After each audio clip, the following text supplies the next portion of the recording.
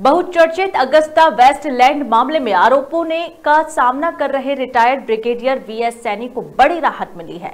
CBI ने कोई सबूत नहीं मिलने के बाद उनके खिलाफ जुड़े केस को सात साल बाद बंद कर दिया है।